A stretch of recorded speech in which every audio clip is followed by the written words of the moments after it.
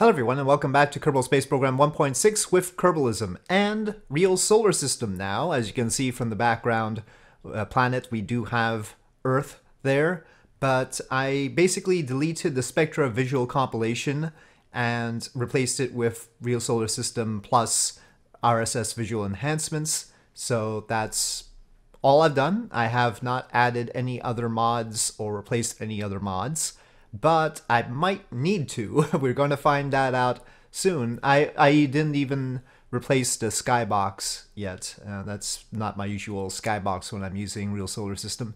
So uh, there aren't any part mods or anything like that replaced. Restock is still in. So let's see. Resume saved.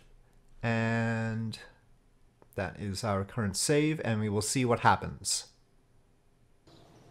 Okay, well, contract configurator is having a fuss, obviously. But that sort of makes sense, right? I mean, why would the contract data be loaded? Avoid saving a game and backup save file to prevent contract loss. I note that our reputation is in the crapper. Uh, that's probably because all those contracts uh, were read as failed. Um, I thought we had wrapped up all the contracts, so I don't actually know what's going on there. Uh, so I'll have to reset that. We now have an Explore Mars contract. Rescue a Kerbal from orbit of Earth. That's good. Um, test a small hardpoint. I don't know. We uh, contract configurator is going to need to have a uh, have a replacement. Uh, but uh, we'll see. We'll work with that as we go along. Let's take a look at the tracking station and see where our vessels have been placed. I will manually adjust the reputation to something moderate. Uh, probably we're not getting as many contracts as we should because our reputation is horrible. Um, Lunar Landing 1. Well, oh, okay, so they're actually really, really close to the sun, is what's happened. Um, Sentinel 1 is very close to the sun. The stuff that was in uh, solar orbit is very close to sun. This uh, Jool, or even stuff that I think should have been. Oh well, this is orbiting series. This uh, Jool Orbital Sciences orbiting series now. That's interesting. Uh, Jool Relay. Well, that maneuver is useless, but it's basically between Ceres and Mars. Ceres has an inclination, that's right. Uh, System Lander. Now that's weird because this Jool Orbital Sciencer is orbiting Ceres, but this Jool System Lander is landed on Mars. And then Romor's craft is landed on Europa. So, I mean, we'll try not to take advantage of the situation too much. Um, we'll see. I mean, they, they are where they are, and it's not that big a deal. I wonder if, like, the scanning, like the Ike scanner, has scanned Mars. Let's find out. Let's let's go to the Ike scanner. Let's see if it can scan Mars. But it's not in a polar orbit, is it? It's in a very high orbit, but it's not polar. Rather than doing something right now, I'm going to try and fix up our reputation and reload and see if contract configurator still has an issue or whether that was just because of existing contracts and it'll be reset as it is. And um, yeah, well, first of all, let me see if Mars is looking proper, right? Because I've got RSS visual enhancements now and I want to see whether that's working right. There's one of Mars's moons. Okay, we got power. I don't know. Mars doesn't seem to be looking right, does it? Why is it so dark? Okay, well, I think we have a basic scope of the situation. Let me see what I can do. Okay, so here we go again. I still don't see any clouds on Earth. That's interesting. So maybe RSS Visual Enhancements isn't working yet. Um, I restored our reputation and science and funds to what they were supposed to be. Basically, the persistent file has a checksum, and I think that's uh, stored in the load meta. And so obviously the numbers were not going to be quite right because well, we've got totally different planets. So the checksum wasn't working out, so it adjusted some numbers to make the checksum work out, and that's why our numbers were messed up. Um, well, I, I am aware that things are much more yellow in RSS visual enhancements um, now in 1.6. I don't know why exactly, but this is this is how it is. So uh, get used to the yellow tint because that's how it is now. And we have clouds, but I don't know if that's how they're supposed to look. Maybe. Let's quickly take a look at Mars. Well, let's just go there. Well, now Mars is looking right. So basically what I did was I copied the folders from uh, test real solar system install. That's for realism overhaul stuff, but it's in 1.6.1. And so I had everything there. So I instead of having the versions of uh, Kopernicus and Scatterer that I had with Kerbalism, I decided to copy those instead, just in case uh, they were slightly the wrong version that is compatible with Real Solar System in 1.6. So it looks like, or uh, not Real Solar System, Real Solar System was working fine, uh, compatible with RSS Visual Enhancements in 1.6. So now it seems to be looking right. The location of various vessels has probably not changed. But let's take a look at our contracts. Well, now we have a whole lot more contracts. Uh, no active ones. Gather scientific data from Earth. Well, that's not going to pay for very much. Rescue Domon, who orbit of the sun. That's probably a bad thing. Yeah, that's over ambitious. Explore Mars, though. We can't just... Okay, so return to Earth from orbit of Mars. That's difficult. That's difficult. Could we do that within that budget? Basically, we're talking about in total... I don't know... I guess this is separate from this, even though these two numbers sum up to that number. So maybe it's not. Maybe this is not separate from these, because if you add these two up, that equals that. So I don't know how to read that, whether uh, I should assume that we're going to get 143,000 by the end of this or 286,000. Not sure. But could we... Well, when's the next Mars window? Um, Kerbal Alarm Clock still works, by the way. And so we want to go from Earth to Mars in a year. So we're going to have to wait a while. Hmm. Transfer window planner would be good. But in theory, let me just try and work up a rocket that could send a vessel to Mars and return to Earth. That's interesting. We'll see. I mean, ironically, the problem we're facing isn't that things are too small. The problem we're facing is that things are too big.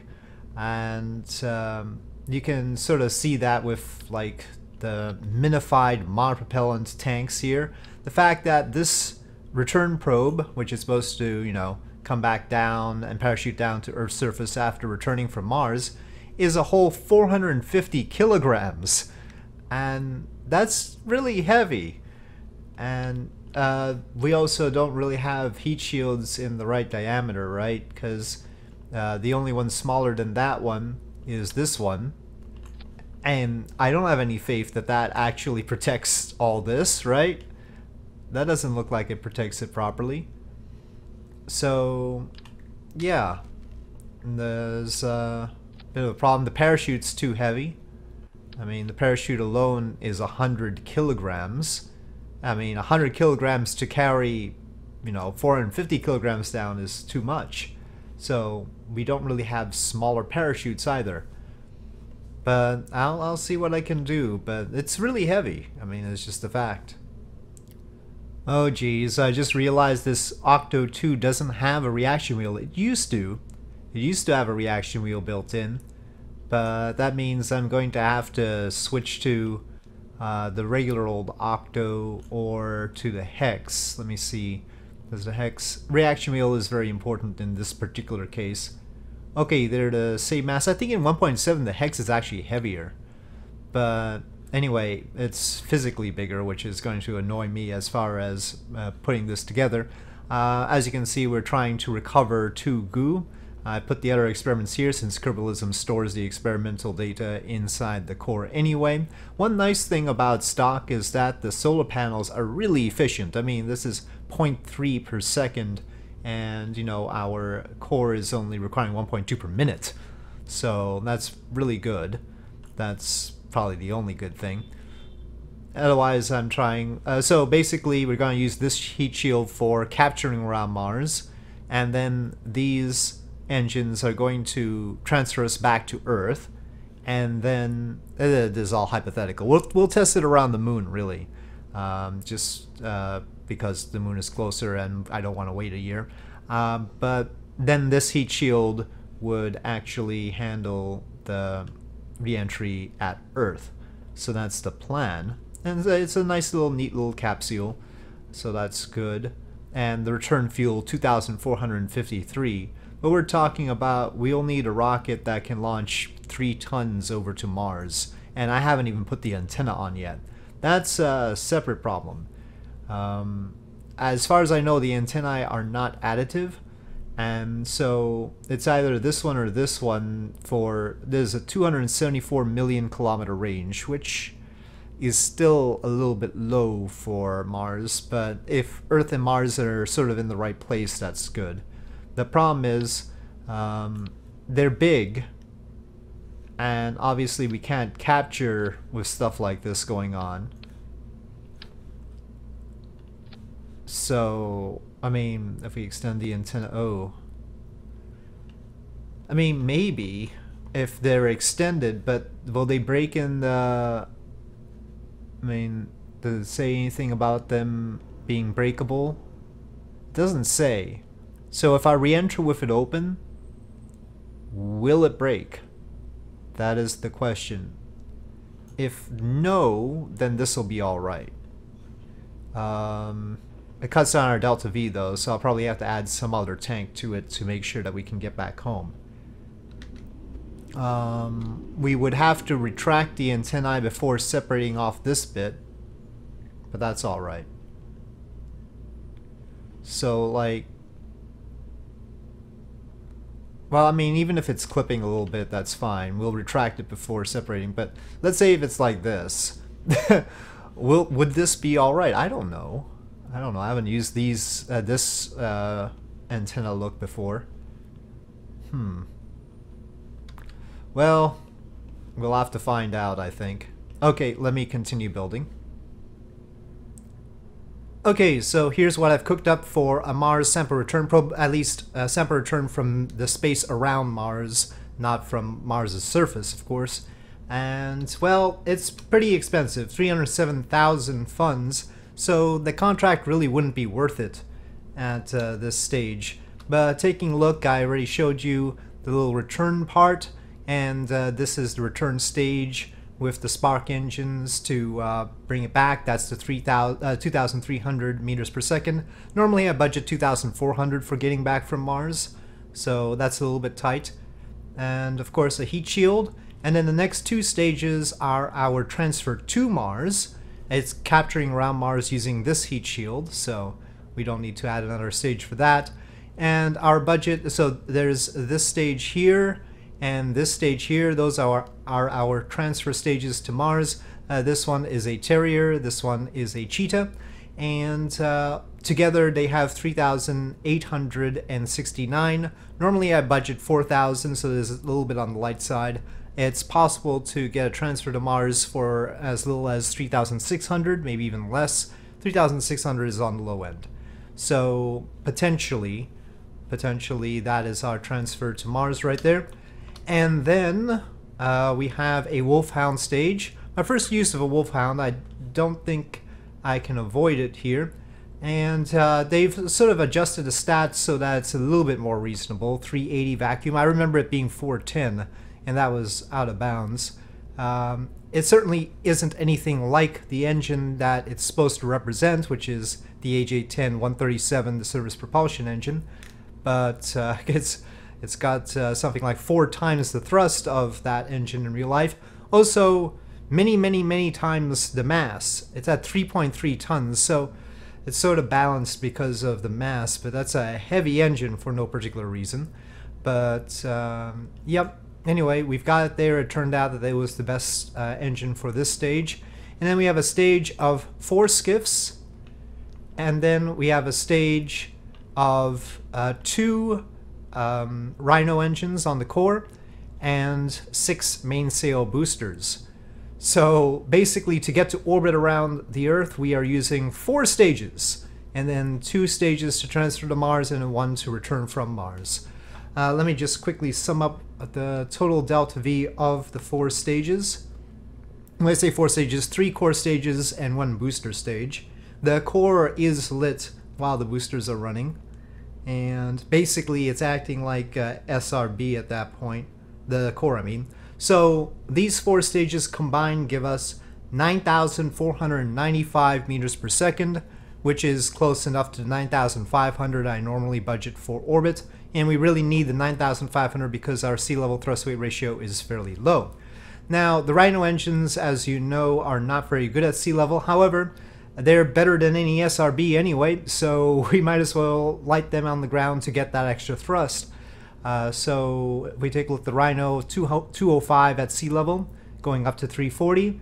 Uh, the kickbacks don't have much thrust, uh, and they start at 195. And if we're gonna carry the Rhinos anyway to continue burning after the uh, the boosters drop off, we might as well just run them uh, to get the extra thrust. So that's how it's configured, and it should have just enough delta V to get to orbit and then transfer to Mars and then get back from Mars if everything went perfectly. But there are no backups. Basically, if um, if anything gets busted because of Kerbalism, it's dead. So we're certainly not going to be trying this as our first launch after upgrading uh, to real solar system uh, for no other reason than we aren't at the Mars window anyway we are going to do something smaller. I want to do a test probe to the moon, which will be expensive, but not this expensive. So I've already configured that, and let's see. So we have a much trimmer rocket for a moon orbit and return mission, and that's what this is. It's modified. We no longer have a separate return heat shield. Uh, now it's all on one heat shield, and otherwise it's the same sort of thing, except I removed the spark engines and put ants because they are more efficient at this mass. And I also removed the big antennae and put Commutron 16s instead because Commutron 16s are good enough, uh, assuming even the level 2 DSN, 707,000 kilometers per Commutron 16, while the moon is only 300,000 kilometers out. So yeah, and it says combinable, so there's that too. Okay, other than that, we removed one stage for the transfer. The transfer to Mars had two stages. We only have one stage with the Cheetah engine. And uh, this isn't actually just, uh, this is actually completing orbit and starting the transfer. The transfer we finished with the Ant engines. And they there are four of those, and they burn for 8 minutes and 22 seconds. And then we have still the Wolfhound stage as before. But at the bottom here, uh, instead of the Rhino engines, we have three of the mainsails. So, and, and this is obviously only possible because of restock. Otherwise, I, I don't know. I, I don't think, yeah, I mean, this model was definitely not the stock model. So, uh, yep, and a very good looking model too, I think. Yep, definitely a good model there. So that's providing 4,000, really low thrust weight ratio off the launch pad as before, but it'll be enough. And uh, the this third stage um, will get us into orbit with about 500 to 800 meters per second left, maybe a thousand if we get the trajectory just right. But it is a long trip to orbit. You can see here uh, a little bit over, well, about 11 minutes. So very Saturn V-ish on that, but fairly light, 364 tons to get a moon probe out. Well, I mean, fairly light for stock stuff. Uh, moon probes can be done for less, but we'll see. 117,000 is about the right price for a test of this sort. So, let's go. Okay, so here we are, and taking a look at the clock there, it looks like we are on 24 hour clock and presumably 365 day calendar. And that'll be important. Don't need surface info yet. Didn't really action group the science. We'll do those point by point. Moon seems to be at its inclination, and we are, we are in fact at Cape Canaveral. Yes, so that is nominal. And presumably, Kerbalism is operating off of its real solar system configuration now. I'm not sure. Well, I mean, it knows there's Earth, Sun, Europa, and all that business, so I trust that is correct. We're currently lining up with the moon so that we can minimize inclination. Remember, we're at 28 degrees latitude at Cape Canaveral, but it so happens that if you combine the tilt of the Earth, which is 23 degrees, plus the moon's own tilt, which is 5 degrees, lines up nicely with the 28 degrees at Cape Canaveral. So you can see that our relative inclination is getting close to zero. It Won't quite hit it. The minimum you can do is 0.25. So we'll slow down there, get Smart ASS up, and throttle up, SAS on. I don't need the alarm clock. And ignition. Well, and launch. we don't have to wait for ignition here. Huh. Why no flame? That's weird. I mean, I've still got... I'll double check, but I've still got real plume stock, I'm sure. Yep. Stock real plumes are in, smokescreen is still here. So this is peculiar. We got the sound. Oh, the flames are all the way down here. Huh. That's strange.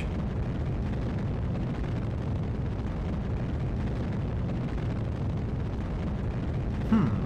I mean, nothing should be rescaled. I mean, the world is, but the flames shouldn't be. Well, I don't know what to think about that. I put the fins on just in case because um, going through... I don't have Ferram Aerospace right now, so the atmosphere is unpredictable to me. Going through Mach and Max Q, it's a lot thicker than it is with Ferram Aerospace and real solar system. And that's another thing, I wanted to test the heat shield, because I don't have real heat in here. So I want to see if the heat shields can take re-entry at the velocities that we get, which is like about 10, 11,000 meters per second not something that you normally see in stock. So far, a very nominal flight. Good looking rocket, if I do say so myself. A little bit unconventional with the three core engines, but that's what we needed. Uh, we don't really need the fairings to go first. Let's have that staging. There is auto strutting going on because, but I don't, I don't have Kerbal joint reinforcement, of course. So, auto strutting would be necessary. So the atmosphere ends in realism overhaul at 140 kilometers. Not realism overhaul, real solar system. Real solar system at 140 kilometers. I should have put parachutes on that and let stage recovery try and bring it back. I don't know. Hopefully it could. Okay, let's try fairing separation. Ooh, close. Now it's all bluish. First it's yellowish on the ground, and now it's washed out blue up here, so things... Things definitely need to be fixed. Look at this. It's so blue. Maybe it's a transition zone thing. Maybe once we get out of the atmosphere, it'll switch color.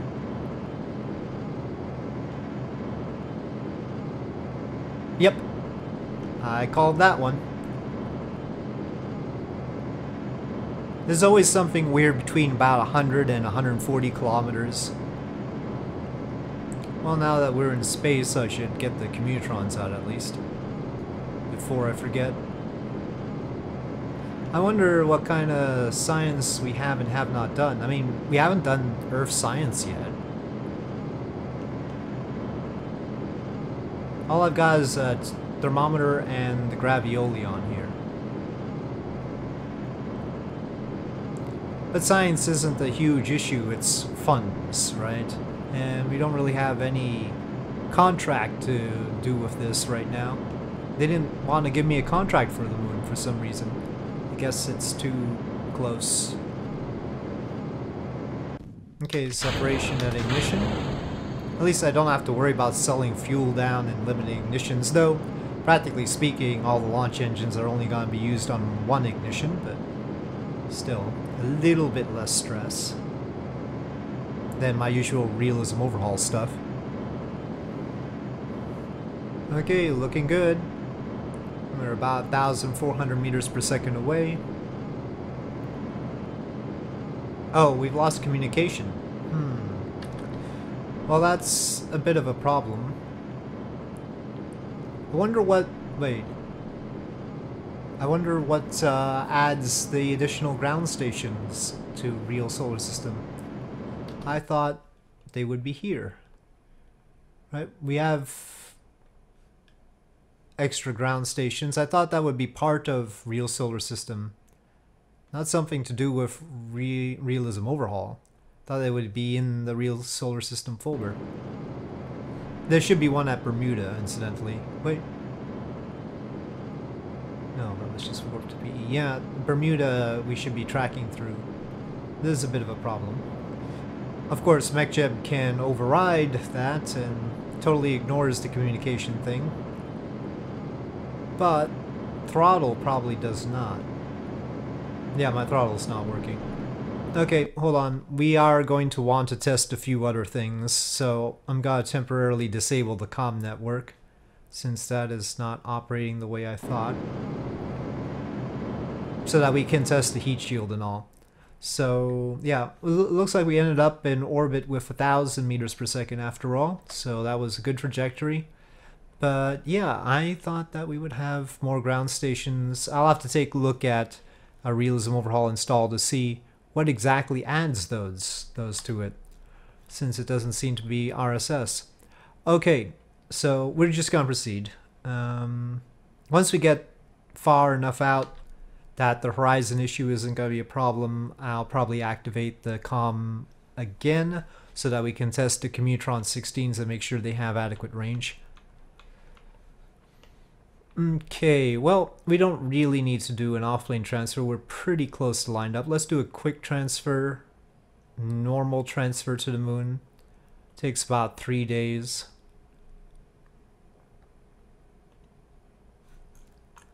We don't want to overdo it, otherwise it's going to take extra to make orbit.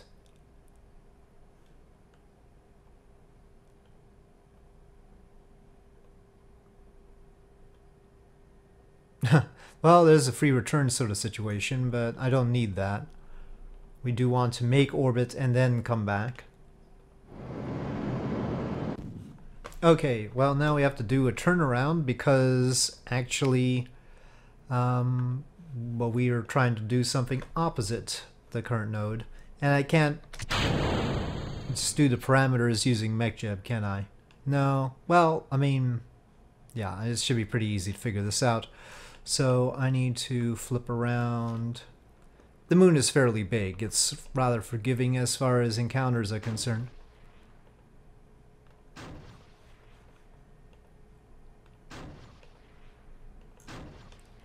Okay, power.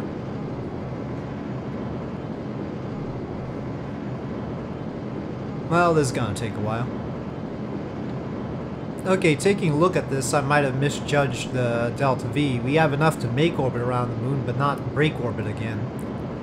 So, let me quickly replot this as a free return. I, I joked that I didn't need a free return, but yeah, actually maybe I do.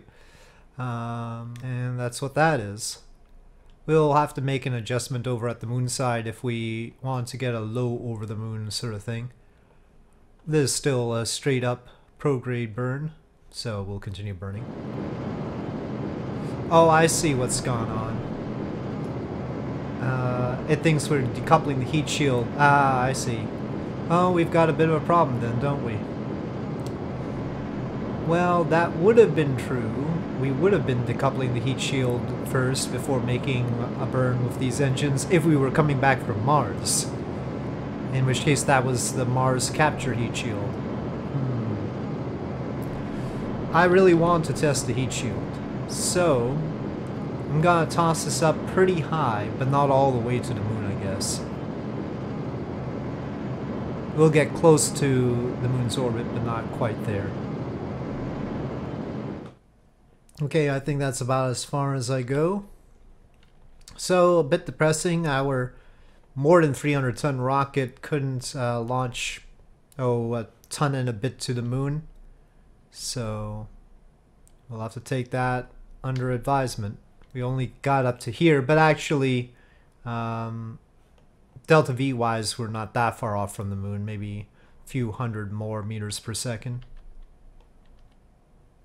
high over the water, so we can get pin and stuff. Let's get some goo. We'll recover, attempt to recover that. Okay, this should be the right orientation to bring that periapsis down. And while with Kerbin I aim for 26 kilometers, here I'll aim for about 70-ish, maybe 65. Okay, that's fine. 61. Okay. And I'll pre set it to surface negative relative velocity. Minimum pressure still 0.25-ish. And I'll arm that. Okay. Let's see if it can survive. This isn't the highest approach, of course, but uh, it's gonna be something. Not sure about how Earth looks, I swear. In other versions I preferred the look there than what we've got here. Not quite buying this look. Other versions of RSS visual enhancements, I mean. The clouds look nice though. Okay, that's the atmosphere. 10,350 almost is what we're entering at.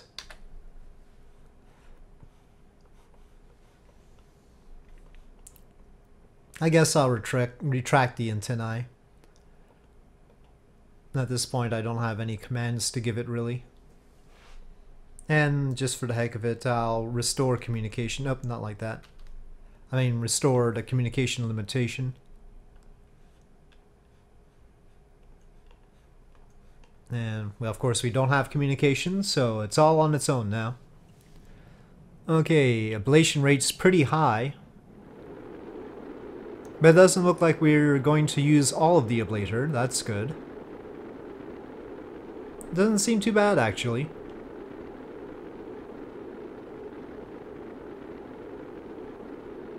Right here is orbital, well, actually a little bit more than orbital velocity. So low Earth orbit, I mean. So yeah, maybe we could just pack about half of our ablator and then we could reach the moon. Not make orbit though, which is sort of a bummer no big surprise that uh, Kerbalism didn't do anything to this. The flight was so short, only one day and 17 hours, let's say. So we will have to take a look at other transfer windows and really get out there, but not all the trans... I mean, maybe I should implement my little uh, realism overhaul light, which is just a single configuration file that sort of does what SMURFF does. A lot of people use SMURFF. SMURFF. Oh, Venus transit window is coming up close. That should be interesting. Vesta is a possibility. Vesta is a little bit hard to get to because of inclination. And then maybe Jupiter, but that's going to take a lot of delta V, but if we just do a flyby, we'd have to use a pretty big rocket though. I really need to get the contracts configured properly, obviously. That's going to be key. That's what RP0 and RP1 are mainly supposed to do, except for repricing the parts. Okay, pretty good velocity, 6 meters per second with the parachute. Wouldn't want to be any faster. And splashdown. Okay, recover vessel.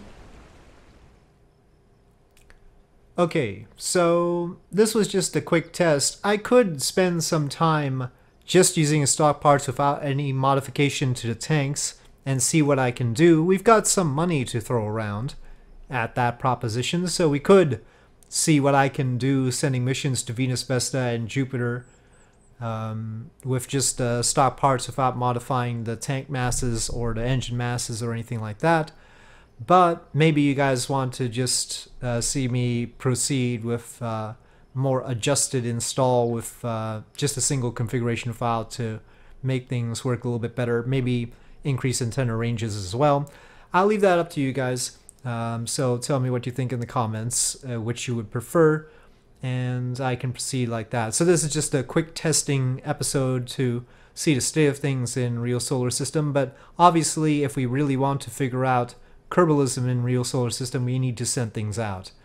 So, and we need to send Kerbals up. Potentially our existing rocket that I just sent the moon probe on could handle sending a Kerbal up, uh, at least to low Earth orbit, maybe to a higher orbit on a more challenging mission.